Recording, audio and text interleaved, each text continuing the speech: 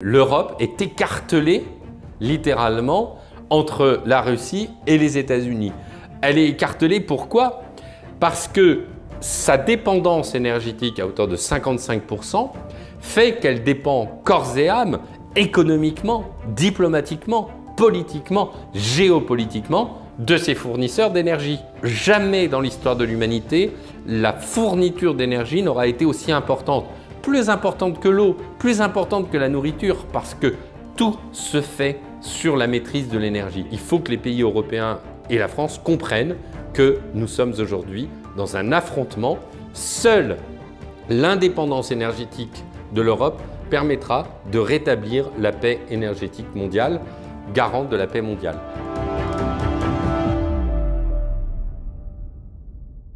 Bonjour Fabien Bouglet. Bonjour Henri Talamy.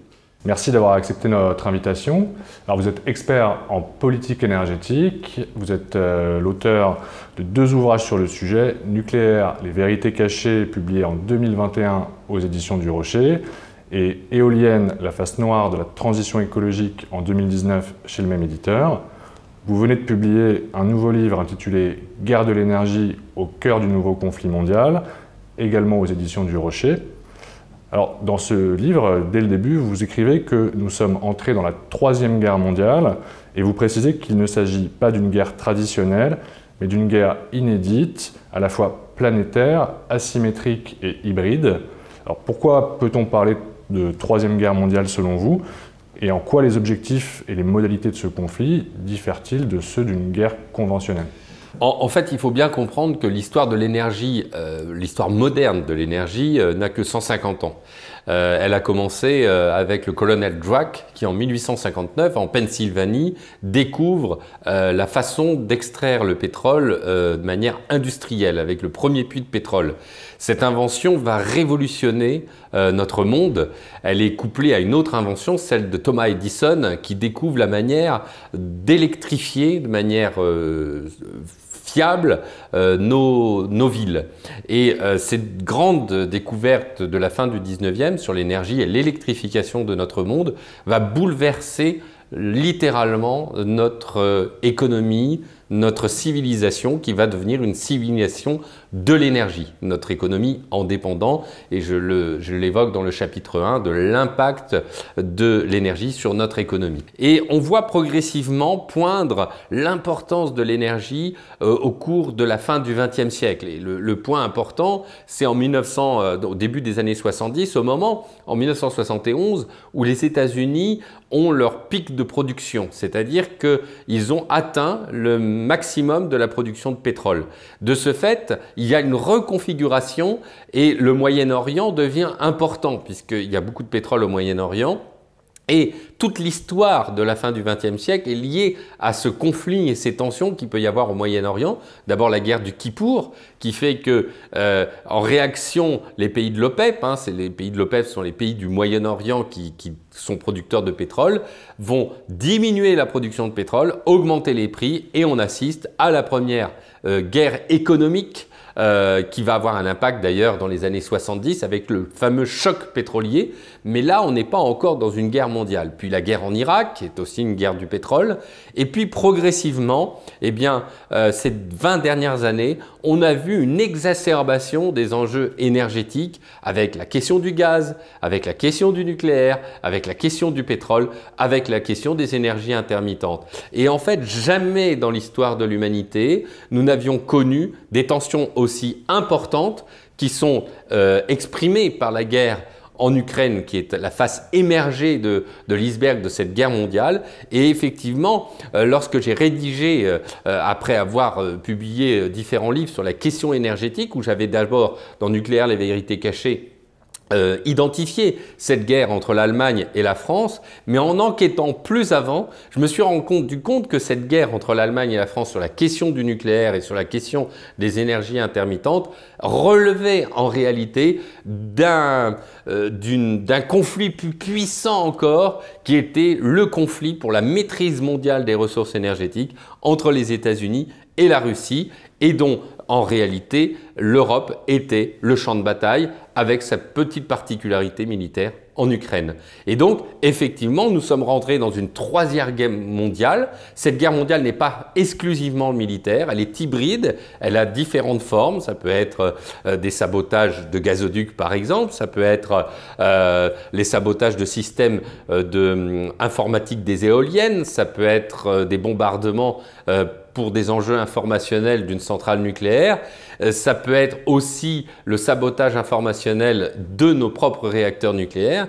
Et en fait, en faisant cet écosystème euh, des systèmes énergétiques, en regardant les tensions, en regardant même la législation qu'avaient prise les États-Unis euh, et les mesures que prenaient les Russes, eh bien incontestablement, nous étions rentrés de plein pied dans une troisième guerre mondiale avec son volet militaire, mais non exclusivement militaire. Vous revenez aussi dans, votre livre sur les, origines de, la crise énergétique que nous traversons euh, aujourd'hui, euh, qui précède pour vous finalement l'entrée de plein pied dans cette guerre de l'énergie.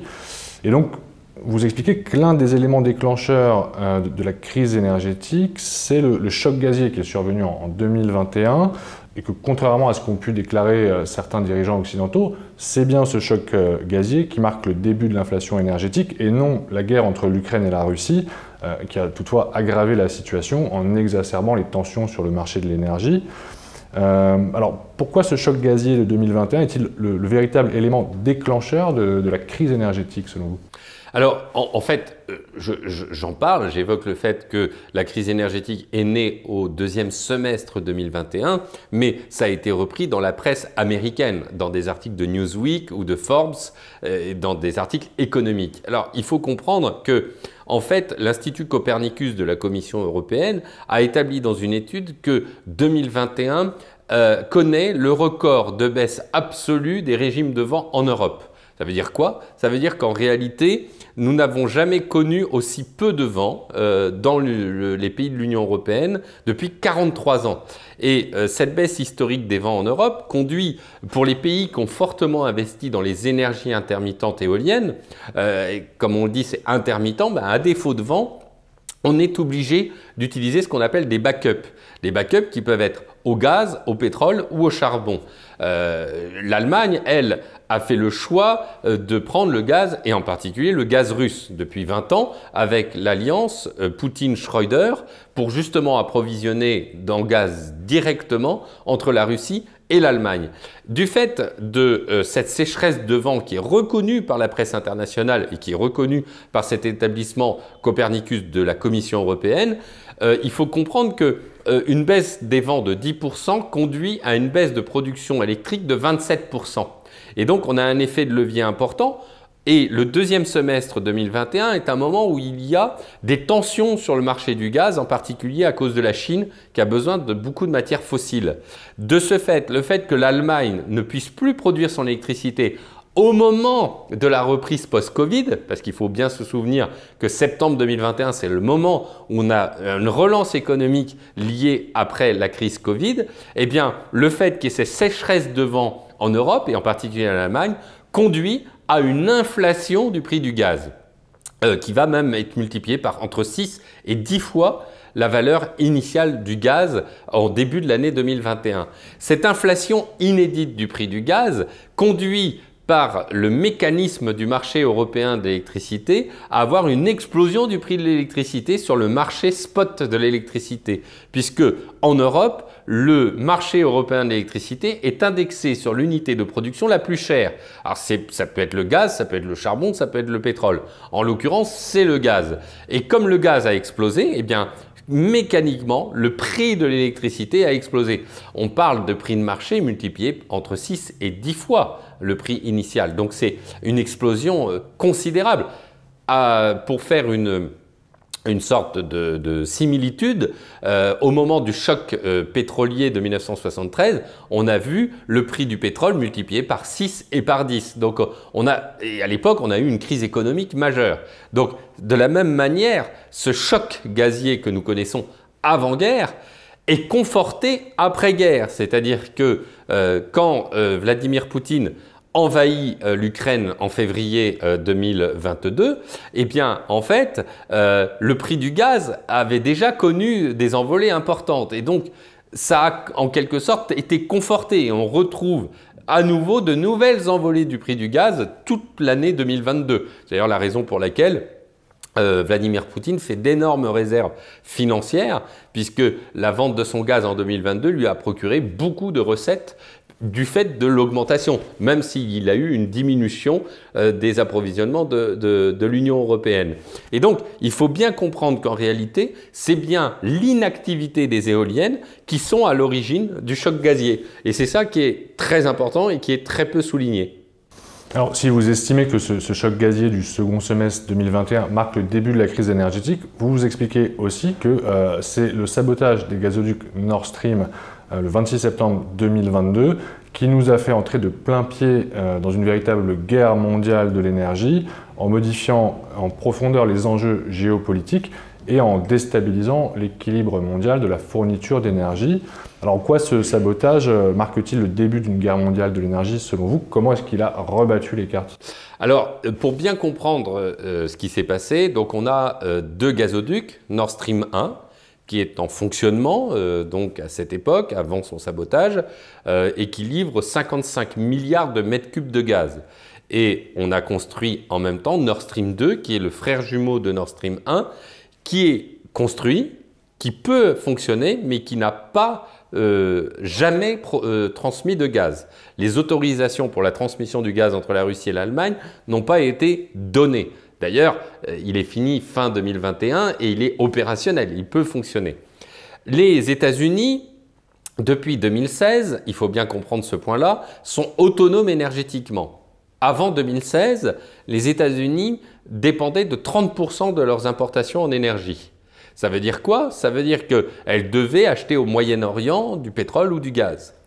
À partir de l'exploitation du gaz de schiste, qui s'est développé justement entre 2010 et 2016, les États-Unis retrouvent leur pleine souveraineté, leur totale souveraineté, avec l'exploitation du gaz de schiste euh, et du pétrole de schiste. De ce fait, les États-Unis ont des surplus de gaz et des surplus de pétrole qu'ils peuvent vendre sur le marché international. De l'autre côté, les Russes sont également autonomes énergétiquement et leur réserve de gaz leur permet de livrer du gaz à l'Europe vers l'Allemagne avec ces gazoducs Nord Stream. Pourquoi ces gazoducs ont-ils été construits? C'est que depuis 20 ans, il existe des tensions très fortes entre la Russie et l'Ukraine, en particulier sur la question de la distribution du gaz en Europe. Pourquoi? Parce qu'avec deux gazoducs, Soyuz et Brotherwood, eh l'Ukraine est le voie de passage obligé historique du gaz de la Russie vers l'Europe. Et donc, le gazoduc Nord Stream 1 et Nord Stream 2 sont une voie directe de passage vers l'Europe et vers l'Allemagne qui contourne le voie de passage ukrainien. Évidemment, les Ukrainiens euh, voient d'un très mauvais œil le fait que le gaz soit contourné par le passage historique et les Américains voient aussi d'un très mauvais œil que leur allié ukrainien qui leur permet de contrôler cette zone stratégique en Europe euh, se retrouve contourné par l'Allemagne. Et donc, pendant des années, ils vont même prendre, les Américains, euh, des lois extraterritoriales sur la souveraineté énergétique européenne. Donc il faut comprendre que les États-Unis légifèrent sur la sécurité énergétique de l'Europe, et en particulier sur Nord Stream 2, en disant nous allons boycotter, nous allons créer des sanctions pour toute entreprise qui participera à la construction de Nord Stream 2. Et donc, plus on va aller avec des tensions entre l'Ukraine et euh, la Russie, et plus le, Nord Stream 2 qui est en, presque à être mis en service, il va y avoir des tensions entre les États-Unis qui font une pression considérable pour l'Allemagne pour ne pas utiliser Nord Stream 2. De ce fait, euh, pendant toute l'année 2022, il va y avoir des tensions économiques puisque l'Union européenne prend des, des, sanctions économiques contre la Russie et en réponse, la Russie prend des sanctions énergétiques en fermant progressivement le robinet de Nord Stream 1 et en arrêtant d'approvisionner en gaz. Donc, à ce moment-là, c'est la Russie qui en fait tient ce que j'appelle la diplomatie du robinet et tient bien la distribution du gaz en Europe. Évidemment, le 26 septembre, euh, et ce n'est pas l'objet de, discuter qui l'a fait, euh, les gazoducs Nord Stream 1 et 2 sont sabotés, donc sont rendus inopérants.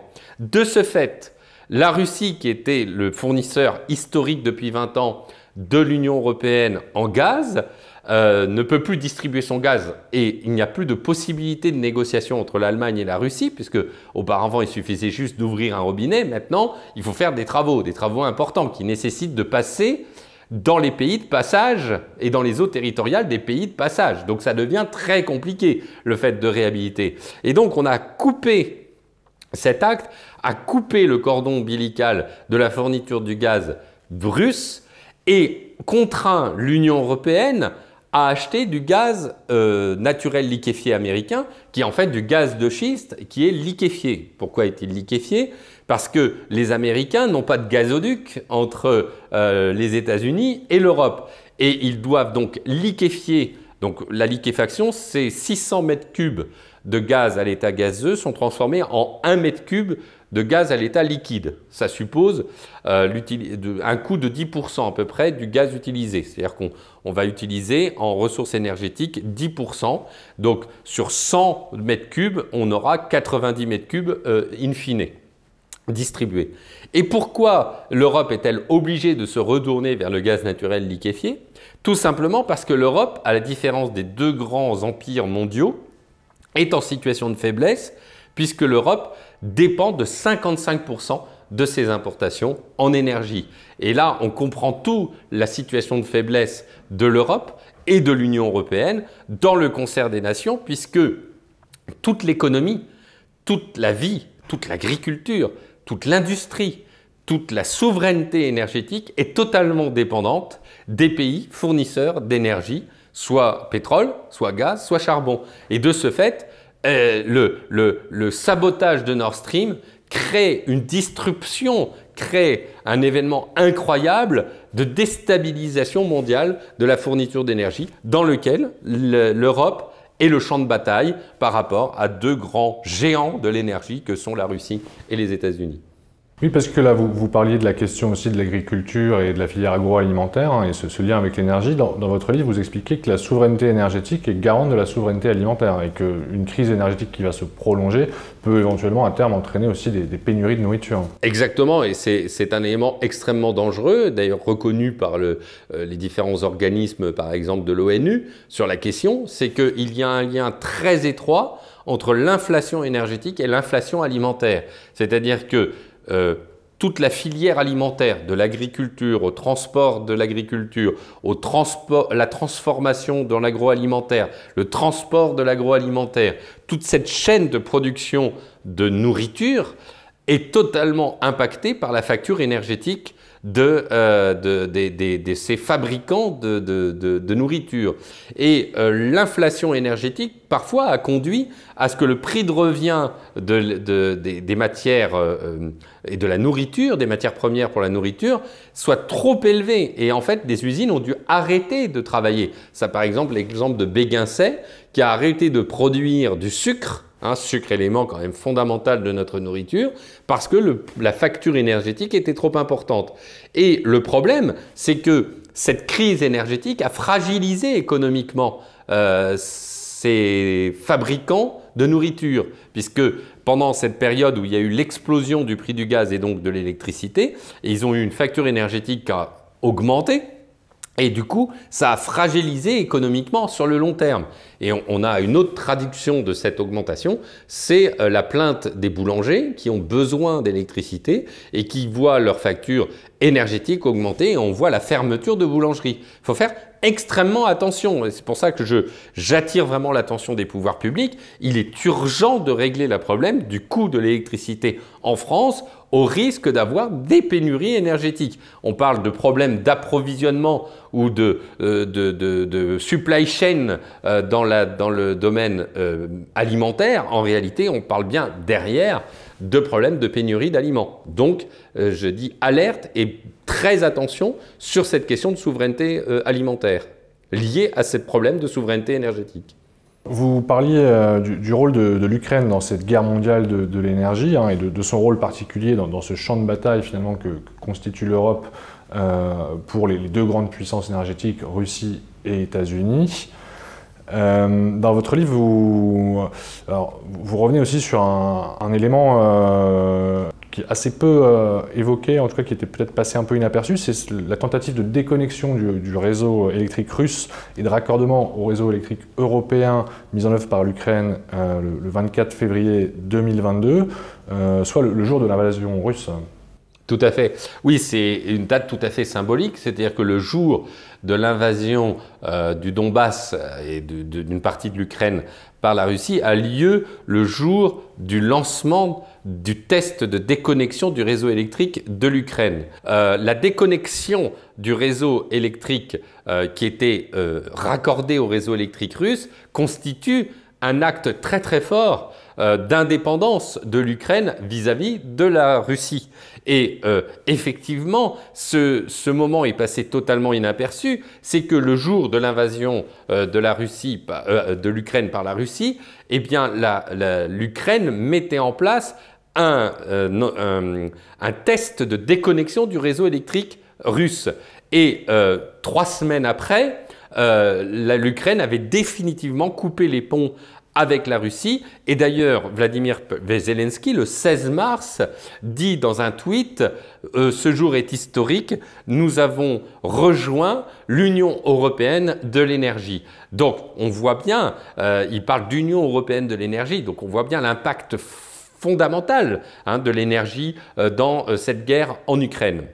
Après, la guerre en Ukraine est un révélateur, c'est la face émergée de l'iceberg. Mais l'Ukraine est un point saillant de tensions extrêmement fortes, culturelles, historiques et religieuses. Rappelons qu'à l'Est, on a une population russophone, à l'Ouest, euh, on, a et russophone et orthodoxe, à l'ouest, on a plutôt euh, une population historiquement issue euh, de pays euh, comme la Pologne ou l'Autriche et plutôt catholiques, qui ont pour certains collaboré avec l'Allemagne nazie. Et donc, on a une tension très forte entre deux populations qui ont été artificiellement réunies.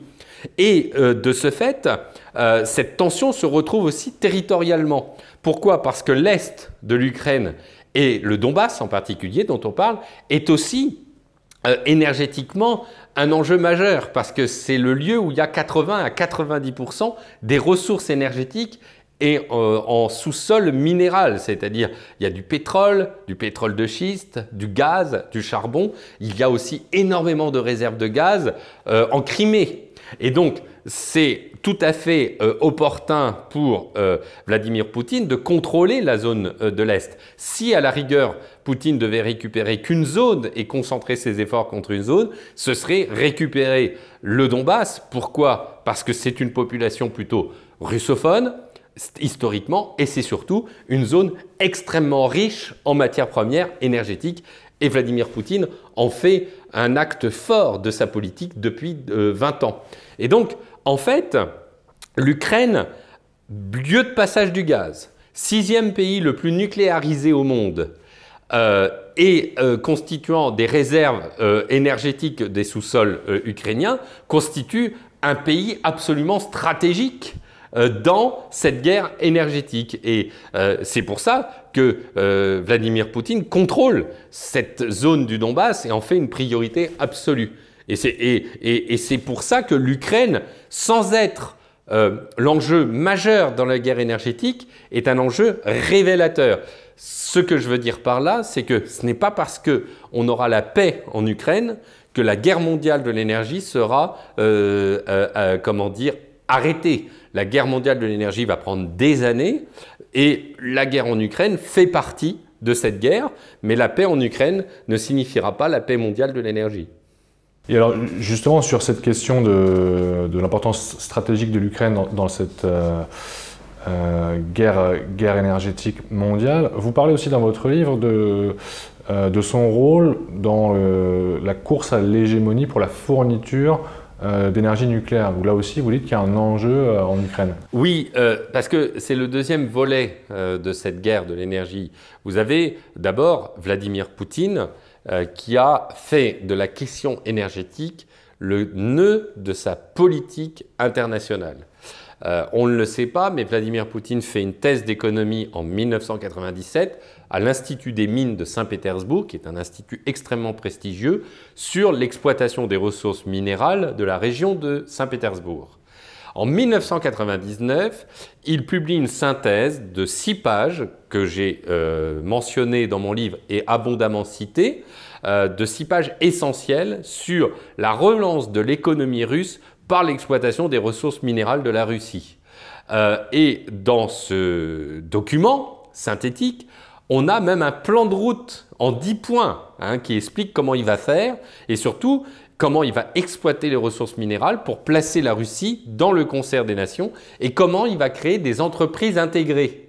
Et ces deux entreprises intégrées dans le domaine énergétique, vous avez deux acteurs phares. Vous avez d'abord Gazprom, qui est le distributeur du gaz, qui déploie les gazoducs au niveau mondial, qui déploie le gaz naturel liquéfié russe et qui achète des participations dans un nombre important, dans une constellation d'entreprises dans le monde liées au gaz.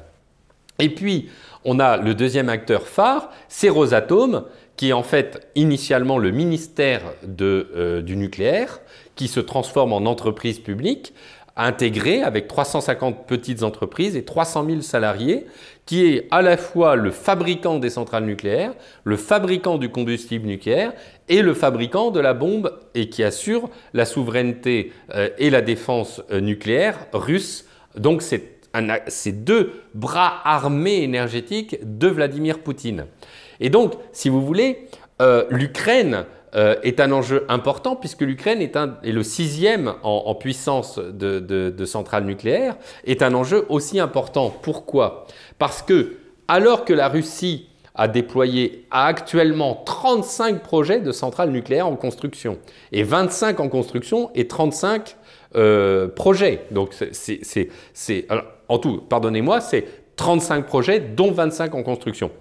Eh bien, alors que la Russie a acquis le leadership au niveau mondial, la Russie entend utiliser le combustible nucléaire, c'est-à-dire, il faut comprendre une chose fondamentale, c'est que quand vous avez construit un réacteur nucléaire, vous avez la technologie qui est associée au combustible. Et le combustible, eh ben, c'est un peu comme votre cartouche d'imprimante. Quand vous avez développé euh, une centrale nucléaire dans un pays, vous créez une dépendance pendant 50, 60, 70 ans. Construction, entretien, combustible, des installations. Et donc, euh, Vladimir Poutine a compris que le déploiement du nucléaire crée aussi une autre vassalisation. Ce qu'a compris les États-Unis. Et Donald Trump, euh, puis Joe Biden dans l'Inflation Reduction Act, qui est actuellement la loi qu'a mise en place euh, Joe Biden, il y a le redéploiement du nucléaire américain. Et le nucléaire fait partie des objectifs très importants des doctrinaires américains. Et justement, ce qui est fondamental de comprendre, c'est que l'Ukraine, en tant que pays nucléaire, eh bien, dans le cadre de la guerre en Ukraine, euh, Volodymyr Zelensky est allé voir Joe Biden et, dans le cadre des accords, a obtenu, euh, les États-Unis ont obtenu la construction de cinq réacteurs nucléaires et quelques mois après, neuf réacteurs nucléaires américains. Il faut donc comprendre que, euh, d'une part, l'Ukraine se déconnecte du réseau russe de l'électricité, mais l'Ukraine crée son indépendance dans la construction des réacteurs nucléaires par rapport à la Russie, puisque historiquement, les réacteurs nucléaires en Ukraine étaient construits par les Russes. mais ce faisant, les États-Unis prennent une avance sur la nucléarisation de l'Europe et ils coupent l'herbe sous le pied de la France avec EDF. C'est-à-dire qu'il y a un double euh, guerre. Il y a la guerre vis-à-vis des Russes, mais il y a également la guerre vis-à-vis de la France, qui est justement euh, euh, dont qui lui-même se, se, voit victime des opérations de guerre économique fomentées par l'Allemagne contre le nucléaire français.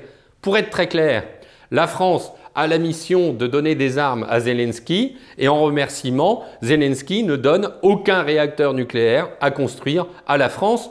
Je trouve que ça fait beaucoup après l'affaire des euh, sous-marins australiens les neuf réacteurs nucléaires euh, commandés euh, aux États-Unis, je crois qu'il y a là de quoi réfléchir. C'est-à-dire qu'il y a un moment, et nous, nous sommes les dindons de la farce, et c'est ce que j'explique dans mon livre, nous ne pouvons pas accepter cette provocation.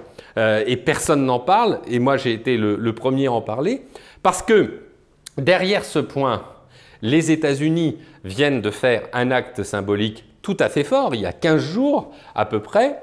Euh, John Kerry est venu en Europe, en Roumanie, et il a exposé le fait qu'il était prêt à financer les pays d'Europe de l'Est. il a commencé avec l'Ukraine, il veut, pour que l'Europe de l'Est remplace les centrales au charbon par des petits réacteurs modulaires américains. Et il a appelé ce guichet unique Phoenix. Mais symboliquement, c'est extrêmement fort, puisque il y a 30 ans, nous avons en France, avec l'accord Lionel Jospin, euh, Dominique Voynet, arrêté le projet Super Phoenix, qui était euh, euh, les surgénérateurs qui utilisaient les déchets nucléaires des anciennes centrales. Ce projet mettait la France dans 30 ans d'avance dans le domaine nucléaire. Et donc, on voit que ce deuxième volet de la guerre énergétique, c'est la maîtrise du nucléaire. On voit que les États-Unis commettent un second euh, débarquement par le nucléaire en voulant imposer à l'Europe une technologie américaine et la, la, maîtrise du combustible des réacteurs nucléaires est essentielle parce que quand vous avez installé votre technologie, vous installez tout le suivi et les combustibles qui vont avec. Et c'est pour ça que le deuxième volet de cette guerre mondiale de l'énergie, c'est le nucléaire. Finalement, euh, en lisant votre, votre livre et en, vous écoutant, euh, on comprend que l'Europe fait figure de, de véritable proie énergétique euh, que ce soit pour les États-Unis ou pour la Russie. Exactement. en fait, l'Europe est écartelée littéralement entre la Russie et les États-Unis. Elle est écartelée pourquoi? Parce que sa dépendance énergétique à hauteur de 55% fait qu'elle dépend corps et âme économiquement, diplomatiquement, politiquement, géopolitiquement de ses fournisseurs d'énergie. Et c'est pour ça que j'explique que les futures guerres qui interviendront dans le monde seront exclusivement des guerres de l'énergie. Parce que jamais dans l'histoire de l'humanité, la fourniture d'énergie n'aura été aussi importante. Plus importante que l'eau, plus importante que la nourriture, parce que tout se fait sur la maîtrise de l'énergie. Sans énergie, vous ne pouvez pas faire d'extraction de, de, terre, de, euh, de minéraux. Sans énergie, vous ne pouvez pas assurer l'alimentation. Sans énergie, pas d'agriculture. C'est ce que j'explique. L'énergie est le sang de nos sociétés contemporaines. Sans sang, nous n'existons pas pour notre santé. Sans énergie, un pays se meurt. C'est pour ça d'ailleurs que je suis, je pense que la décroissance est un danger contre lequel il faut lutter politiquement euh, véritablement. Je l'explique dans mon livre. Euh, il faut lutter contre la décroissance. Et de ce fait, l'énergie devient la, la, raison de tous les enjeux géopolitiques mondiaux, et on le voit actuellement avec la redistribution des cartes entre l'Est et l'Ouest, et avec la reconfiguration des BRICS, qui s'allie avec le Moyen-Orient. Et donc, effectivement, l'Europe est au cœur de cette guerre. Mais pourquoi l'Europe est au cœur de cette guerre? Parce que l'Europe est divisée. Mais c'est peut-être une question que vous allez aborder dans un second temps. Alors, on, reparlera effectivement de, ce sujet. Euh, j'aimerais aussi revenir avec vous euh, sur le sur le modèle euh, énergétique euh, allemand, donc euh, vous en avez déjà un peu parlé en évoquant le, sabotage des gazoducs Nord Stream hein, qui fournissaient l'Allemagne en, gaz russe. Vous, revenez longuement hein, dans votre livre sur la, politique menée par l'Allemagne ces dernières années en matière d'énergie, et notamment sur le développement massif d'énergie renouvelable. Euh, vous rappelez d'ailleurs un chiffre euh, intéressant, vous dites que l'Allemagne aura dépensé entre 2000 et 2025 plus de 520 milliards d'euros dans le cadre de sa transition énergétique. Alors quel bilan vous, faites de cette politique énergétique? Euh, Est-ce qu'elle a porté ses fruits? Est-ce que le modèle allemand est pertinent? Alors le, modèle allemand est, est, basé sur une idéologie qui s'appelle l'Energiewende, qui a été euh, mise en place et développée à partir des années 80 par l'Institut OCO, euh, dont trois euh, scientifiques ont écrit un livre qui s'appelle L'Energivine 2, qui suppose le fait que l'Allemagne va changer de modèle de croissance en se détachant du nucléaire et des énergies fossiles. Et pour ce faire, il faut développer les énergies intermittentes. Je préfère le terme d'intermittent à renouvelable parce que ni les éoliennes ni le solaire ne sont renouvelables quand on voit les matières premières à utiliser pour exploiter le vent ou le soleil. Si le combustible, c'est-à-dire le vent et le soleil, sont renouvelables, en revanche, les moyens de production pour exploiter ne sont absolument pas renouvelables. De la même manière, on pourrait parler d'un nucléaire renouvelable, puisqu'en réalité, ce qui produit de l'électricité, c'est la vapeur d'eau, et la vapeur d'eau est renouvelable. Mais revenons sur la question des intermittents. Les intermittents ont ce gros inconvénient, c'est qu'ils sont intermittents, justement. C'est-à-dire qu'ils ne produisent que lorsqu'il y a du vent et qu'il y a du soleil. Bon, alors, le jour et la nuit, bah, la nuit, il n'y a pas de soleil, sauf à faire en sorte qu'il y ait du soleil la nuit, mais là, on aura un gros problème. Le vent, c'est pareil. C'est quelque chose qui euh, a la particularité de ne pas être euh, programmable. Donc, c'est non pilotable. Euh, c'est aléatoire. c'est soudain. Vous avez soudainement beaucoup d'électricité parce que vous avez beaucoup de vent pas forcément au moment où vous en avez besoin, et parfois au moment où vous en avez besoin, c'est-à-dire au moment des pics de consommation, quand il fait très très froid, eh bien le, problème c'est que quand il fait très très très très froid, c'est le moment où il n'y a pas du tout du tout de vent. Donc au moment où, il y a où tout le monde met son chauffage électrique, etc., c'est le moment où on n'a pas l'électricité du vent. Patatras, l'Allemagne, compte tenu de cette intermittence, supprime, et Gerhard Schröder, qui est l'homme fort de cette politique à partir de 1998 jusqu'en 2005, eh bien, développe deux grands concepts, sortie du nucléaire, jusqu'en 2023, ben, donc on y est, et déploiement des énergies renouvelables. Euh, Angela Merkel, avec euh, Fukushima, elle voulait reporter la sortie du nucléaire dix ans plus tard, mais Fukushima euh, pour des raisons purement politiciennes, l'a conduit à continuer la politique de sortie définitive du nucléaire. Donc, l'Allemagne se retrouve avec de moins en moins de réacteurs nucléaires, qui, jusqu'au 15 avril euh, de cette année euh, ont fini par être tous arrêtés. En même temps, elle a beaucoup déployé d'éoliennes et de panneaux solaires, qui représentent en puissance installée 55% du mix. 55% en puissance installée. Mais le problème, c'est que comme les éoliennes sont intermittentes, en réalité, progressivement, on voit la production des éoliennes faiblir, surtout avec le problème de la baisse historique des vents en Europe. Et donc, les, éoliennes, en 2022, n'ont produit que 21% de la production éolienne. Et comme il faut compenser cette absence de vent ou de solaire par des énergies fossiles, gaz, pétrole ou charbon.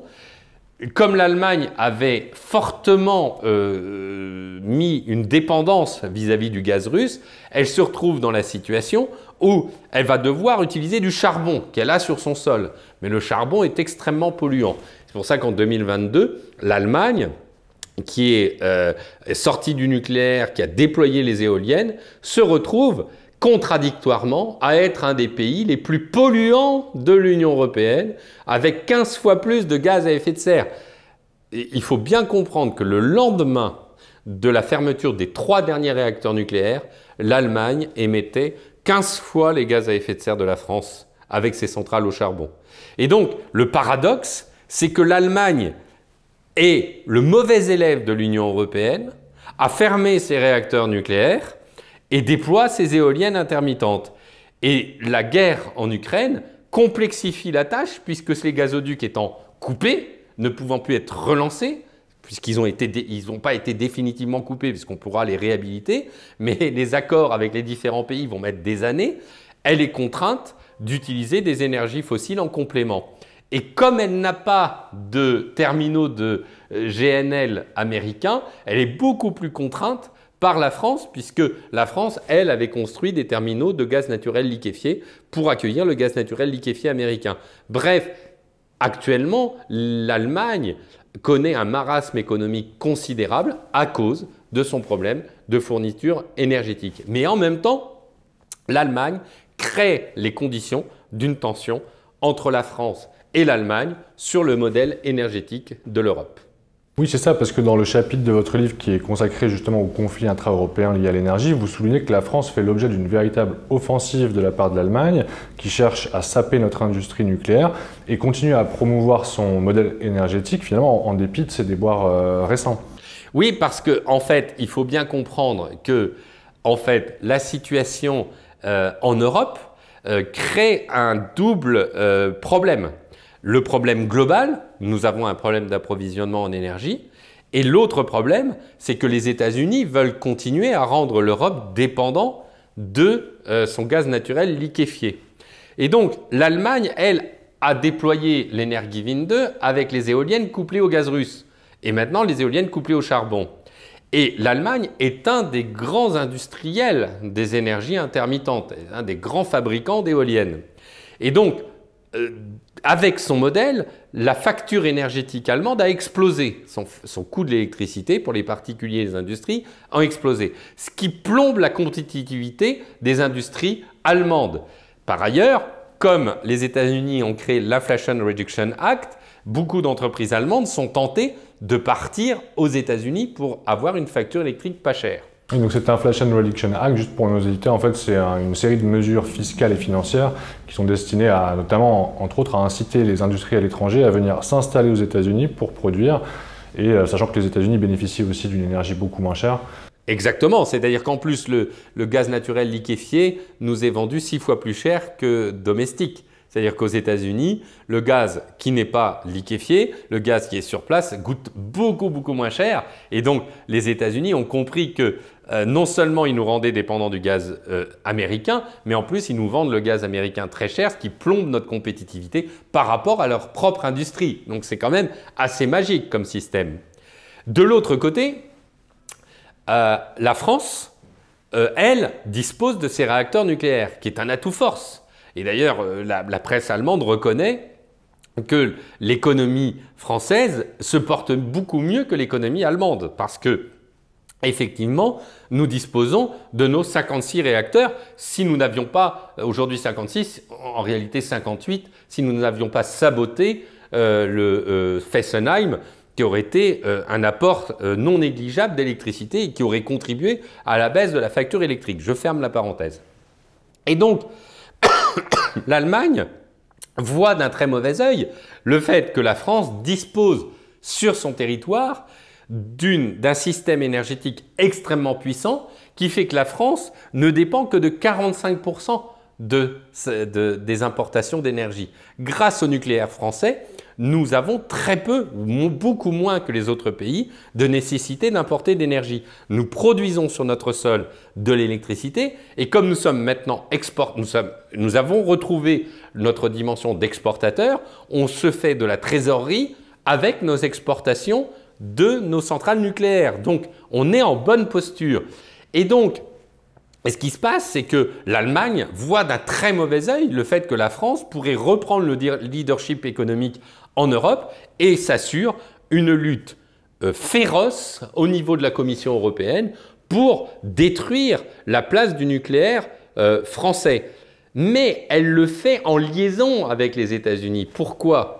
D'un côté, l'Allemagne a intérêt à ce qu'on ne développe pas le nucléaire français pour vendre ses éoliennes intermittentes, et les États-Unis, de son côté, pour vendre son gaz naturel liquéfié plus on développe de nucléaire en Europe, moins on aura besoin de gaz naturel liquéfié.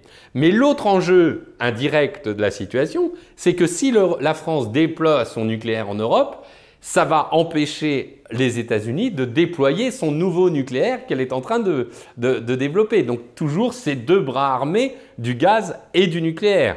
Et pour ce faire, pour montrer L'importance, parce qu'on a parlé de cette euh, personne qui devait prendre la direction de la euh, commission euh, de la concurrence à la Commission européenne, cette américaine, mais peu ont parlé de l'autre acteur clé dans le domaine énergétique, qui est la nomination de cette dame qui s'appelle Jennifer Morgan. Jennifer Morgan est une américaine installée à Washington. Elle a, en février 2022, Hein, la date est importante, donc au moment de la guerre, euh, quasiment concomitamment à la guerre en Ukraine, elle va être naturalisée allemande et nommée secrétaire d'État chargée du climat dans le gouvernement allemand euh, sous la responsabilité de Anna Barbuck, qui est la ministre des Affaires étrangères Grünen de l'Allemagne. Ministre absolument férocement antinucléaire. Et qui est Jennifer Morgan, cette américaine naturalisée allemande? C'est la chef monde de Greenpeace International.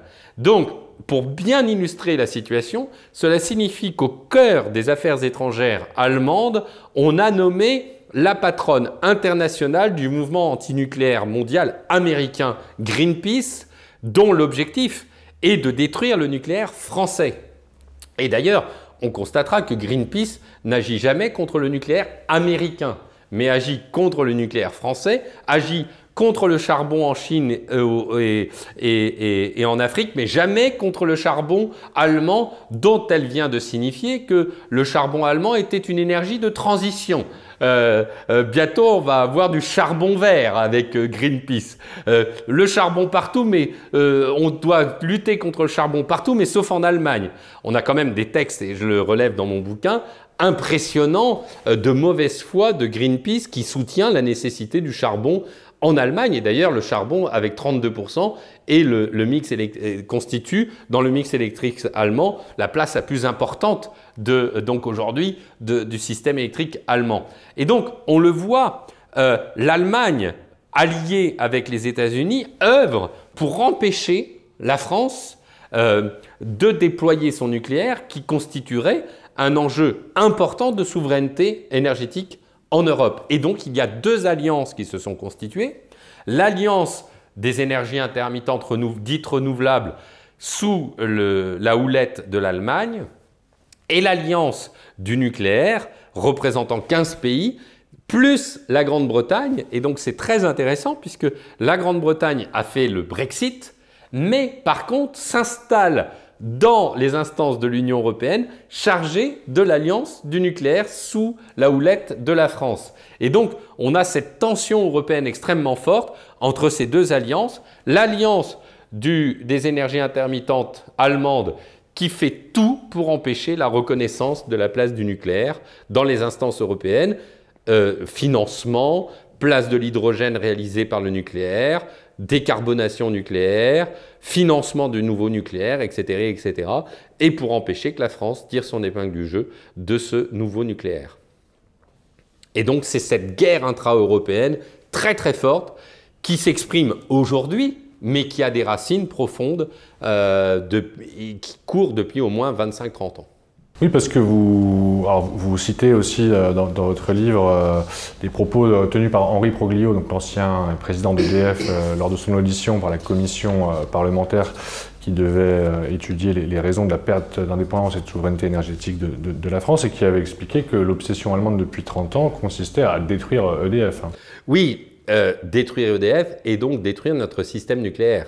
Parce qu'en fait, EDF, principalement, c'est la structure qui gère les 58 réacteurs en activité et 56 depuis la fermeture de Fessenheim. Et donc, derrière le fait de détruire EDF, le fait d'affaiblir EDF, derrière, c'est la volonté d'explosion de notre système électrique, d'exploser notre système électrique nucléaire avec le fait d'avoir inspiré la loi de sortie du nucléaire, avec, rappelez-vous, en 2013, avec François Hollande, qui propose une loi de baisse de la part du nucléaire à 50%, et la volonté d'affaiblir financièrement EDF pour euh, faire en sorte que notre système énergétique ne puisse pas fonctionner. Et effectivement, dans mon livre, je révèle comment l'Allemagne euh, a procédé depuis 20 ou 25 ans. Alors, ça n'enlève pas la responsabilité, entendons-nous, des élus français. Mais il y a une certitude, c'est que l'Allemagne mène un jeu particulièrement ambigu et euh, on ne peut plus euh, grave sur le sol français en menant des opérations de guerre économique sur le sol français. Alors comment le fait-elle? D'abord, j'ai expliqué que l'Allemagne a installé un bureau euh, qui s'appelle l'OFATE, l'Office franco-allemand de la transition énergétique, qui est une association de droit allemand dont le siège est à Berlin, et pas n'importe où, au ministère de l'Industrie allemande. Alors, on a l'adresse, et quand on googlise l'adresse, on tombe sur le ministère de l'Industrie. Et euh, ce, ce, lobby, l'OFATE, c'est le lobby de l'Energiewende, c'est-à-dire des éoliennes, en gros, des éoliennes allemandes. Et il regroupe tous les acteurs de l'Energiewende et du gaz. Hein, donc on a le gaz et les éoliennes. Fabricants d'éoliennes, exploitants d'éoliennes euh, et, et syndicats de promoteurs éoliens. C'est ce lobby à ses bureaux en France à la Direction générale de l'énergie et du climat, à la DGEC. C'est quoi la DGEC C'est la direction chargée de la politique énergétique de la France. Et ces locaux sont au ministère de l'énergie, au ministère d'Agnès Pannier-Runacher. C'est-à-dire qu'au sein du ministère français, on a une officine allemande qui vient donner ses instructions pour le déploiement des éoliennes en France. Il faut, comprendre cette situation qui est une, extrêmement grave, euh, d'une extrêmement gravité. Euh, donc, d'une part, ça c'est l'eau. Ensuite, j'ai euh, découvert le fait que des ONG, que j'appelle des mercenaires énergétiques, mènent depuis des années des opérations contre le nucléaire français. Et ça, ça prend ses racines dans les années 70. Il faut comprendre que la plupart des, ONG prétendument écologistes, en réalité, ont un double visage. En apparence, elles se donnent l'apparence de personnes luttant pour la planète, euh, d'une cause honorable, et en sous-main, elles ont une double face qui est en fait une, une action résolument antinucléaire. Et par qui sont financées ces ONG Citons-les, Greenpeace, WWF ou les Amis de la Terre.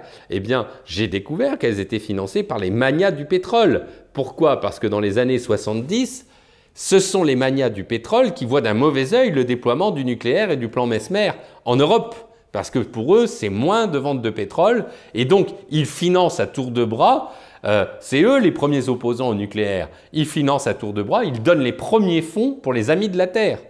Et ces acteurs-là, les Amis de la Terre, qui sont toujours financés par les fondations pétrolières, en particulier la fondation Rockefeller, eh bien, la fondation Rockefeller, sur le site internet de la fondation Rockefeller, continue, et on voit les associations, on retrouve les Amis de la Terre, WWF et Greenpeace, eh bien, ces trois mêmes acteurs sont les acteurs qui agissent juridiquement à la Commission européenne pour demander la sortie du nucléaire, des énergies d'avenir et des, énergies vertes au titre de la taxonomie européenne. Donc, à la fois des actions chocs de Greenpeace avec des opérations d'intrusion dans des centrales nucléaires, des opérations de blocage de trains, euh, des opérations de, fait de projeter un drone contre un réacteur nucléaire, qui devraient être des opérations suffisantes à dissoudre ces structures de terrorisme économique, et je le dis et je le répète, ce sont des terroristes économiques. Et en outre de ces actions, eh bien, on a l'action qu'on a identifiée et qui a été identifiée par l'école de guerre économique euh, de la présence de, on dit fondation, mais d'officines allemandes en France. Il faut comprendre que le système allemand euh, des partis politiques est associé, chaque parti politique est associé à une structure de type fondation qui reçoit des millions euh, d'euros pour aller faire la propagande du système allemand. Et on a découvert en France deux fondations qui allemandes, qui, ont des qui dépendent de partis politiques et qui ont des activités en France. La fondation Henrik Boll, qui est associée au Grunen, et la fondation Rosa Luxembourg, qui est, euh, associée au parti d'extrême gauche, l'équivalent de la France insoumise. Eh bien, ces deux fondations, euh, et c'est l'école de guerre économique qui en fait état, sont financés par le gouvernement allemand et mènent en France des opérations de déstabilisation du nucléaire français par la publication de brochures, de livres, d'articles avec par exemple le journal d'extrême gauche Alternative économique, ou euh, mènent des colloques, ou mènent des études, ou mènent euh, tout un tas d'ensembles de mesures. Et c'est là qu'on retrouve que l'ensemble de cette propagande antinucléaire eh bien, on retrouve systématiquement derrière Greenpeace, WWF, Heinrich Boll ou Rosa Luxembourg. Et ces fondations allemandes financent également un réseau qui s'appelle Réseau Action Climat, qui est un, réseau de plusieurs organisations antinucléaires dans lequel on retrouve Greenpeace, WWF et les Amis de la Terre. Et toujours ces mêmes acteurs qui agissent en France et qui agissent au niveau de la Commission européenne pour empêcher le développement du nucléaire français et détruire EDF. D'ailleurs, WWF avait même fait un rapport pour expliquer comment euh, régler le problème financier d'EDF en développant les éoliennes. Vous voyez à quel point il voulait tout développer sauf le nucléaire français. Et l'objectif était bien, comme le dit Henri Proglio, la destruction d'EDF et la destruction de notre système énergétique basé sur le nucléaire. Vous rapportez d'ailleurs dans votre livre que euh, euh, l'ONG Greenpeace a aussi contribué ces derniers mois à déstabiliser les partenariats franco-russes dans le domaine du nucléaire civil. Euh, partenariats qui ne font pas l'objet des, sanctions prises par l'Union européenne pour des questions de garantir la sécurité des installations nucléaires existantes, ce qui exige de maintenir un, dialogue et une coopération, le, cas échéant. Tout à fait. Il faut comprendre que la filière nucléaire, de manière générale, connaît des échanges internationaux avec les principaux acteurs. Ce serait un peu ridicule de dire il y a une filière française, il y a une filière américaine et il y a une filière russe elles sont toutes interconnectées, puisque la filière française, par exemple, est très très bonne pour les turbines, les fameuses turbines Arabelle, et par exemple, Rosatom utilise les turbines Arabelle dans les réacteurs à eau pressurisée russes. Euh, de la même manière, euh, Westinghouse utilise des prestataires français et inversement, nous utilisons des prestataires américains. Et donc, euh, la filière nucléaire est une filière qui connaît des échanges internationaux extrêmement puissants indépendamment de la guerre énergétique. On en arrive à cette situation contradictoire que dans cette guerre de l'énergie, des pays en guerre apparents peuvent être partenaires économiques et des pays en, normalement en paix peuvent être des adversaires et des ennemis énergétiques. Hein, c'est le cas de l'Allemagne et de la France qui sont en réalité en paix apparente mais se mènent une guerre profonde euh, en sous-main et euh, les États-Unis, la France et euh, la Russie qui ont des dépendances sur le nucléaire et qui, malgré ce conflit en Ukraine, en fait, continuent leurs échanges. Et effectivement, Greenpeace, qui est plus ou moins piloté par les États-Unis, j'ai pas une preuve certaine, mais on voit des liaisons étroites, comme par exemple cette nomination de Jennifer Morgan, les États-Unis ont intérêt à couper le lien économique entre la Russie et la France sur la question euh, des centrales nucléaires pour pouvoir asseoir et développer son propre nucléaire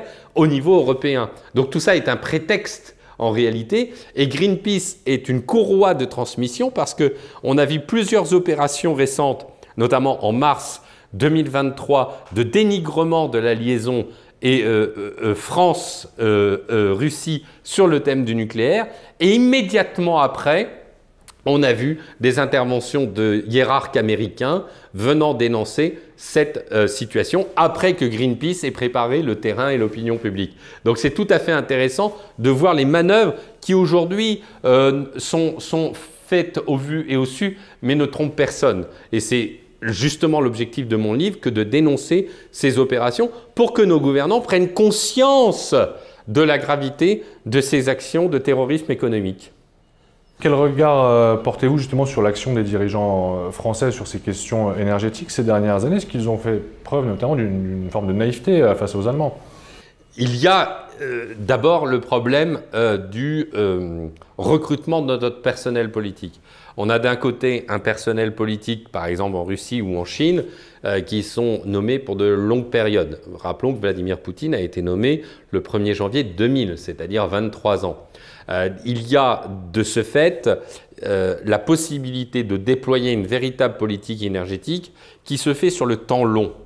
En face, dans les pays euh, occidentaux, on a des régimes court terme où le président change au bout de cinq ans, le gouvernement est remanié, et donc on a un problème de temps long, ce qui fait qu'on a un court-termisme politique au-delà de, euh, de, la dimension idéologique ou de potentielle trahison de tel ou un tel, il y a incontestablement un problème sur la question de politique énergétique qui nécessite à la fois une logique sur le temps long, c'est-à-dire le fait de prévoir, et rappelez-vous euh, Pierre Mesmer, Premier ministre français, qui résout la crise énergétique en 1973 en déployant le plan Mesmer, qui se déploie jusqu'en 1997, c'est-à-dire 20 euh, ans après, 24 hein, ans après, ce qu'il a décidé se déploie et assure à la France notre souveraineté énergétique.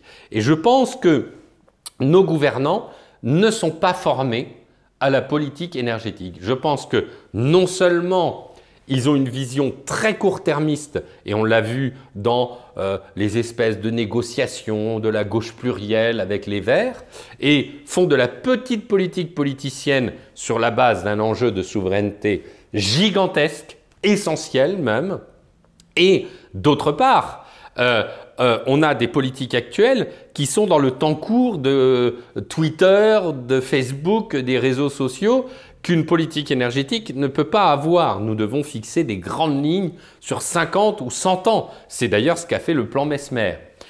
Euh, et donc, moi, je, je m'insurge contre le fait que nous n'ayons pas la temporisation. Pourtant, nous avons l'Office de parlementaire des choix technologiques qui fait des rapports réguliers, mais il n'est pas entendu. Pourtant, il a dit des choses passionnantes. Il y a la commission sur la souveraineté énergétique qui, certes, tout en étant incomplète, a soulevé des, questions. Elle n'a pas été entendue. Et donc, il y a à la fois un problème de court-termisme et en même temps, il y a un problème de réactivité. C'est-à-dire que là, actuellement, ça fait deux ans qu'on aurait dû traiter la question du, euh, euh, marché européen de l'électricité que nous devons quitter au plus vite, comme a fait l'Espagne ou le Portugal, et pour autant, nous ne faisons que traîner. C'est-à-dire que dans, euh, dans la nécessité d'agir au plus vite, nous faisons des atermoiements. C'est-à-dire que le paradoxe, c'est qu'on est court terme dans la réaction impulsive de la politique politicienne,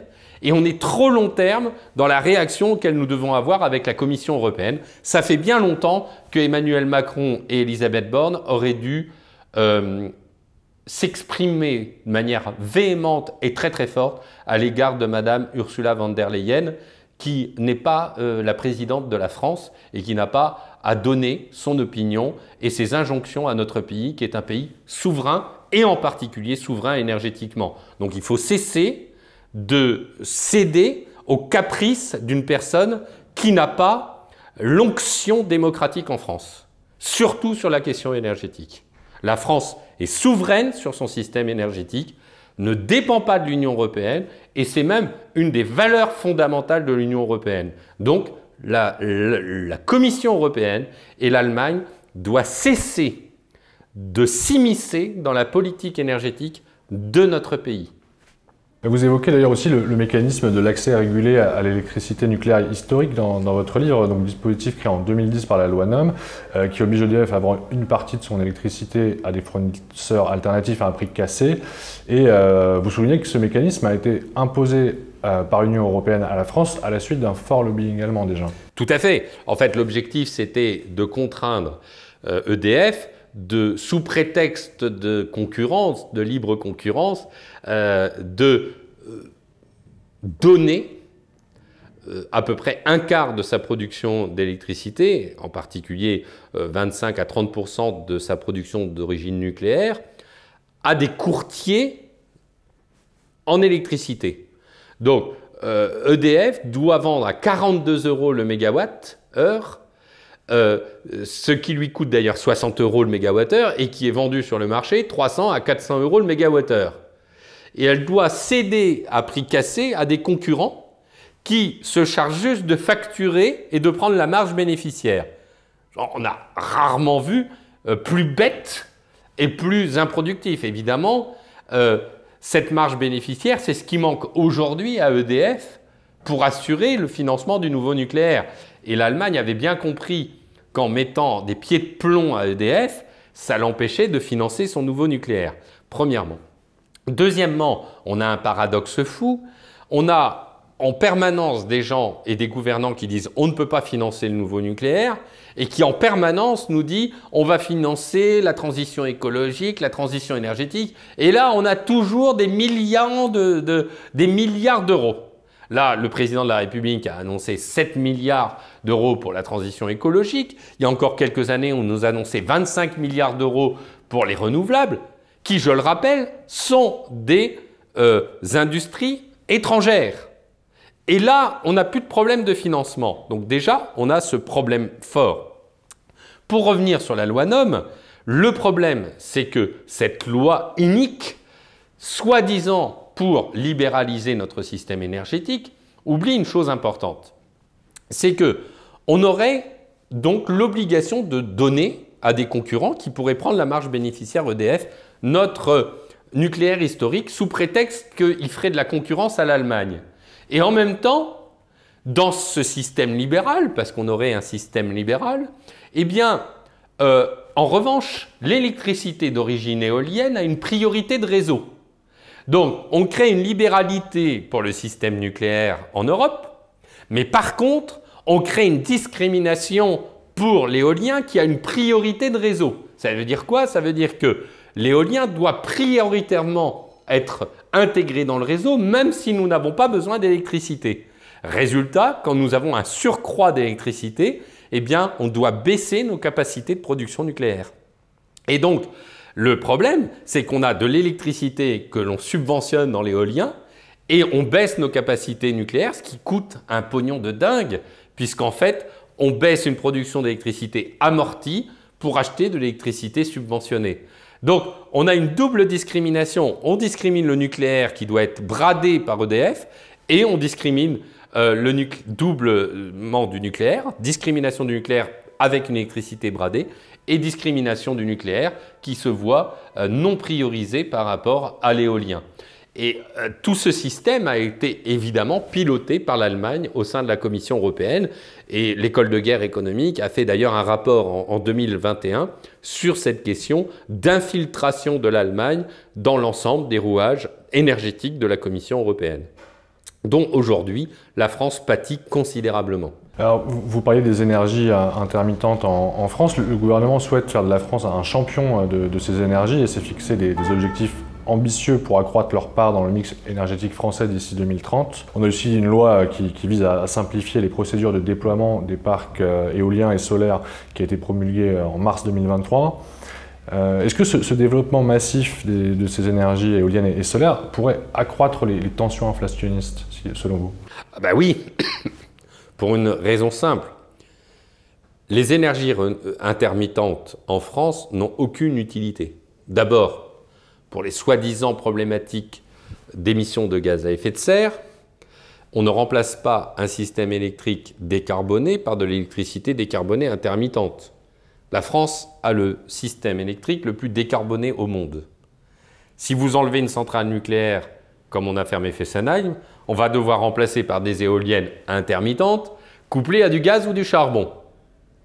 Donc, dans l'absolu, installer des éoliennes en France, ça n'a pas d'impact écologique, ou du moins en termes d'émissions de gaz à effet de serre. Pire, baisser le nucléaire et mettre des éoliennes, ça nous oblige à relancer des centrales au charbon puisque le président de la République a bien expliqué que nos centrales au charbon étaient encore en fonction. Mais je crois qu'il veut les fermer d'ici à 2027. Oui, oui. Enfin, elles devaient être fermées là. Elles devaient, justement, elles étaient fermées en 2021. On les a relancées. Preuve qu'on a un problème d'approvisionnement électrique depuis la fermeture de Fessenheim. Parce qu'il n'aurait pas été question de, fermer de relancer les centrales au charbon si on avait les 13 TWh d'électricité de Fessenheim. Fermons la parenthèse, mais euh, décision absurde du reste, rappelons une chose, moi j'avais écrit dans le Figaro une tribune en 2021 pour régler la crise énergétique. On était au cœur de cette crise du gaz en septembre et octobre 2021. J'avais écrit une tribune pour régler la crise énergétique, il faut relancer Fessenheim. On était en mesure de relancer Fessenheim. Mais non, deux ans après, on a préféré continuer et là, il y a eu la signature pour le démantèlement de Fessenheim. Corrélativement, l'Allemagne a fermé ses réacteurs nucléaires, mais une étude récente a montré que tous les énergéticiens allemands avaient maintenu opérationnelles des centrales nucléaires qui peuvent être relancées en 6 mois. 5 peuvent être relancées en 6 mois, 6 à 9 mois. Donc les Allemands euh, arrêtent leurs centrales euh, nucléaires mais ne les ferment pas. Nous, nous les arrêtons et nous les sabotons. Pour revenir à la question des éoliennes intermittentes, Euh, le problème en France, puisque nous avons un, socle d'électricité, donc comment ça se passe l'électricité? Ben, Nous avons le socle d'usage avec le nucléaire, puis nous avons les barrages, donc si on a besoin d'électricité en plus, on va activer faire tomber de l'eau pour faire de l'électricité, et puis ensuite, nous avons euh, les énergies intermittentes. Mais il faut bien comprendre une chose essentielle, les pics de consommation en France, interviennent principalement en hiver, au mois de janvier, février, mars, au moment des grands froids. Mais le moment des grands froids, c'est aussi le moment où il n'y a pas de production éolienne. Ça veut dire que vous pouvez multiplier par 50 le nombre d'éoliennes en France. Quand il n'y a pas de vent, il n'y a pas de vent. Zéro multiplié par zéro égale la tête à Toto. Il faut être quand même très clair. Or, l'éolien ne résout pas la crise d'approvisionnement en électrique des pics de consommation. Or, c'est le problème que nous avons en France. On pourra construire tous les champs de centrales éoliennes qu'on veut, toutes, tous les centrales euh, solaires que l'on veut, toutes les centrales éoliennes que l'on veut. On ne résoudra pas la crise énergétique des pics de consommation par ces dernières, puisque on devra mettre en place de toute façon des centrales fossiles. Et donc, en réalité, c'est une illusion je n'arrive pas à comprendre qu'après euh, vraiment des années d'alerte sur le sujet, après que j'ai transmis mon livre Nucléaire, les vérités cachées, éolienne, la face noire de la transition écologique, il continue à développer quelque chose d'illusoire. En outre, j'ai écrit un article pour Factuel où j'ai expliqué en quatre points pourquoi en Europe, plus on installait d'éoliennes, moins on avait de production d'électricité. Pour une raison très simple, c'est que les vieilles machines, plus une, vieille, une machine éolienne vieillit, moins elle produit, qu'il y a une concurrence de vent entre les éoliennes, c'est-à-dire que quand vous mettez des nouvelles éoliennes, eh bien les nouvelles éoliennes produisent moins si elles sont derrière un autre, autre centrale éolienne. Ce et d'ailleurs, ils font des procès entre exploitants éoliennes en disant vous nous avez volé le vent hein, pour vol de vent. Euh, donc c'est quand même assez hallucinant. Et ensuite, pour une raison simple, c'est que la productivité des éoliennes intègre le fait que les premiers gisements de vent étaient les plus productifs. C'est-à-dire qu'il y a 15 ans, les exploitants éoliens avaient choisi les lieux les plus productifs en, électricité. Et maintenant, ils ont des lieux plus, beaucoup moins productifs. Donc en réalité, euh, on a constaté, et d'ailleurs en France c'est exactement le cas, entre 2019 et 2022, on a eu une augmentation de 1000 éoliennes en France, et pour autant on a eu une baisse de la production de 1%. Donc plus on installe d'éoliennes, moins elles produisent. Et ça, ce sont des chiffres totalement officiels de RTE. Et donc, vous voyez, c'est pour ça que je le dis, arrêtons d'installer des éoliennes le plus rapidement possible, puisqu'on se met des cailloux dans la chaussure du développement du nucléaire français. Alors Emmanuel Macron a annoncé la construction d'un premier lot d'au moins 6 nouveaux réacteurs euh, nucléaires de type EPR2, avec la possibilité d'en construire 8 euh, supplémentaires par la suite. On a aussi la, loi d'accélération du nucléaire promulguée fin juin hein, qui acte la simplification des procédures et la réduction des délais pour la construction de ces nouveaux réacteurs.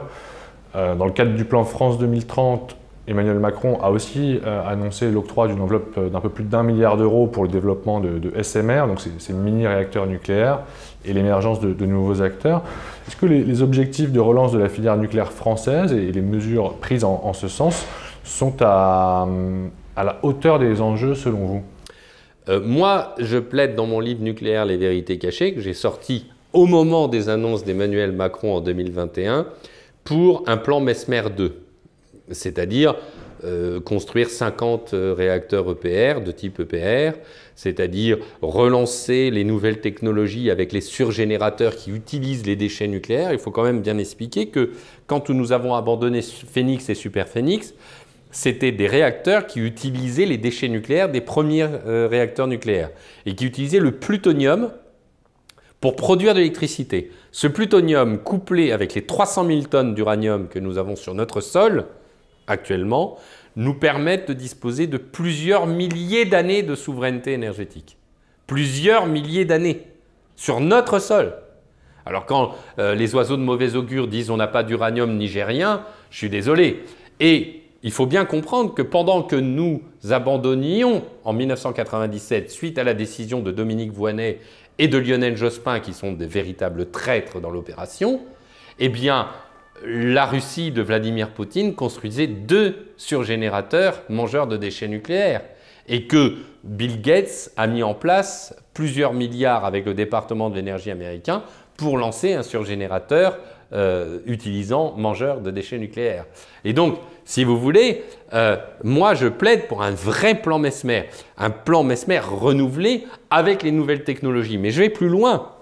Dans mon nouveau livre, ça c'est ce que j'expliquais dans, et j'ai été repris par certains partis politiques français, que je nommerai pas, euh, que, j'ai vu, qui reprenaient l'idée de plan Mesmer 2. Et dans mon livre Guerre de l'énergie, je prône un plan nucléaire européen qui est en fait le plan Mesmer que nous avons connu en France, mais à l'échelle de l'Europe. Et ceci conformément aux valeurs de l'Union européenne telle qu'elle a été exprimée au début par les traités créateurs de la communauté européenne économique. Et donc, de ce fait, je pense qu'en réalité, effectivement, le président Macron n'est pas, pas assez ambitieux sur son nucléaire. Et pourquoi n'est-il pas assez ambitieux? Parce qu'il est dans le en même temps et qu'il veut absolument déployer ces foutues énergies intermittentes dont nous n'avons aucun bénéfice puisque nous ne fabriquons pas d'éoliennes en France, nous, nous importons ces éoliennes et nous contribuons à notre déficit commercial. Il faut arrêter ces éoliennes, arrêter parce qu'elles nous bloquent pour le déploiement du nucléaire. Et d'ailleurs, j'en veux pour preuve, dans ces deux alliances qui ont été créées, entre l'Alliance des énergies intermittentes sous domination allemande et l'Alliance du nucléaire. Agnès Pannier-Runacher, qui est la chef de file de l'Alliance du nucléaire, a voulu aller à la réunion de l'Alliance des renouvelables, euh, qui était organisée par l'Allemagne et l'Autriche, euh, cette année, en 2023. Et figurez-vous que s'agissant d'un club de l'Union européenne, Agnès Pannier-Runacher s'est vue refuser la participation à l'Alliance des renouvelables à deux reprises. La première fois, on lui dit Vous inquiétez pas, vous serez invité la deuxième fois. Et la deuxième fois, on lui dit Maintenant, vous n'êtes pas encore invité. Et que, quel est l'élément de langage de l'alliance du, renouvelable pour empêcher la venue d'Agnès Pannier-Runacher? L'argument est le suivant. Vous souhaitez le déploiement du nucléaire en Europe, vous êtes donc contre les énergies intermittentes. Et donc, vous ne pouvez pas participer au club des énergies intermittentes. CQFD, de la même manière que moi qui pense qu'on ne peut pas faire de en même temps dans le domaine énergétique nucléaire couplé aux éoliennes, les Allemands et les Autrichiens eux-mêmes considèrent qu'on ne peut pas être dans le en même temps. Et donc, je le dis à Agnès Pannier-Runacher, prenez acte de cet affront qui va à l'encontre de votre politique et soyez euh, consciente de ce que la politique énergétique de l'Europe est basée sur deux traités fondamentaux, la communauté européenne de l'énergie atomique, signé le même jour à Rome que le traité de Rome, la communauté européenne économique. Et pourquoi la communauté européenne de l'énergie atomique a-t-elle ce traité a-t-il été signé à Rome en 1957 C'est qu'en 1956, nous avons la crise du canal de Suez, avec Nasser qui a nationalisé le canal de Suez. La Grande-Bretagne, Israël et la France se retrouvent avec des problèmes d'approvisionnement en pétrole venant du Moyen-Orient. Et pour contrer ce premier acte de guerre économique énergétique, les pays européens s'unissent pour créer un approvisionnement en énergie atomique et créent la communauté européenne économique pour créer une alliance de nucléaire pour créer l'Europe de l'énergie atomique. Il faut rappeler cette donnée fondamentale. L'Europe et l'Union européenne a pour base le déploiement du nucléaire. L'Europe égale nucléaire, nucléaire égale Europe. Agir contre le nucléaire en Europe, c'est agir contre l'Europe elle-même. Quand l'Allemagne conteste la place du nucléaire en Europe, l'Allemagne fait la guerre à l'Europe elle-même. Si l'Allemagne doit prendre acte, et je le dis aux dirigeants allemands, je le dis à l'ambassadeur d'Allemagne en France, continuer la guerre au nucléaire français, c'est faire la guerre à l'Europe, et l'Allemagne a un choix cornélien, Veut-elle continuer à participer au concert des nations européennes en participant aux grands projets européens et auquel cas elle doit participer au nucléaire européen? Ou alors, si elle ne veut pas participer au nucléaire européen, elle doit prendre acte qu'elle n'a plus sa place dans l'Union européenne du nucléaire et donc dans l'Union européenne et donc faire un Dutch et s'extraire de cette Union européenne qui est l'Union européenne de la paix. Mais je pense que si l'Allemagne continue ses actes belliqueux contre la France, elle va incontestablement conduire à un éclatement de l'Union européenne si elle continue ce jeu-là, que je n'appelle pas de mes voeux, mais je pense que l'Allemagne doit prendre acte de sa position absolument anti-européenne actuelle par ses actions belliqueuses contre le nucléaire français. Alors, vous avez parlé euh, finalement de, la mise en œuvre d'un grand plan nucléaire européen, donc une sorte de nouveau plan Mesmer, mais à, l'échelle du, vieux continent. Euh, quelle peut être la place de la France dans la mise en œuvre de, ce plan nucléaire européen? Est-ce qu'elle a la capacité de jouer un rôle moteur, voire de profiter de cette opportunité pour accroître son influence et devenir la principale puissance économique de l'UE tout à fait. Moi, je suis intimement persuadé que du rôle euh, moteur euh, de la France dans cette nouvelle Union européenne, euh, d'ailleurs, c'est de fait puisque la France a la capacité énergétique la plus forte. Non seulement elle a une souveraineté énergétique la plus importante, et donc un modèle pour l'Union européenne, mais en plus, en termes de pollution, nous ne polluons pas le ciel européen comme les centrales au charbon allemandes. Donc, euh, il y a beaucoup de pays en Europe de l'Est avec lesquels nous devons nous associer. Avec la Pologne, qui doit régler son problème de pollution, avec la Hongrie, avec tous les pays de l'Est. Et moi, je dis très clairement aux pays de l'Est, travaillez avec la France, travaillons ensemble, reconstruisons l'Union européenne, exactement lorsque les pères fondateurs de l'Union européenne en 1956 se sont dit, nous avons un problème d'approvisionnement énergétique. Et je dis euh, euh, aux pays alliés de la France et alliés dans l'Union européenne, que pour assurer l'Union européenne des nations souveraines, eh bien, la souveraineté énergétique permet de construire une Europe des nations souveraines. La souveraineté énergétique de l'Europe permet la souveraineté euh, euh, des pays dans l'Union européenne. Et donc, il faut revenir aux fondamentaux de l'Union européenne dans le sens traditionnel. Et la France a un rôle moteur à jouer, mais à deux conditions. D'abord, qu'elle arrête de déployer des énergies intermittentes, et ensuite, qu'elle ait conscience qu'elle a un rôle fondamental à jouer, et je ne suis pas sûr que nos gouvernants en l'État aient compris qu'ils avaient un rôle essentiel et qu'ils pouvaient faire en sorte que la France tire son épingle du jeu comme étant le pays moteur de l'Union européenne, comme nous l'avons été en 1956 et en 1950 avec Schuman ou euh, Monet. Et donc, c'est là où effectivement la France, et d'autre part, la France bénéficie d'une euh, technologie nucléaire de pointe avec des ingénieurs et peut permettre à tous ces pays de créer des emplois non délocalisables sur leur sol et donc d'assurer une souveraineté énergétique euh, dans leur pays. Donc, on a un challenge énorme, mais un défi qui va permettre de relancer l'économie européenne pour les 20 et 30 prochaines années. C'est un enjeu formidable également de réindustrialisation, mais il faut que les pays européens et la France comprennent que nous sommes aujourd'hui dans un affrontement. Seule l'indépendance énergétique de l'Europe permettra de rétablir la paix énergétique mondiale, garante de la paix mondiale. je pense que là, l'Europe a un rôle clé et il faut qu'elle se détache de cette politique des énergies intermittentes qui ne servent à rien. Et d'ailleurs, on voit la pression américaine avec Van der Leyen qui dit il faut déployer les éoliennes, déployer les éoliennes. Plus d'éoliennes, c'est plus de gaz américain et moins de nucléaire français. Donc euh, il faut prendre acte que la solution passe par la France, acteur clé de cette relance euh, de l'Europe par le nucléaire.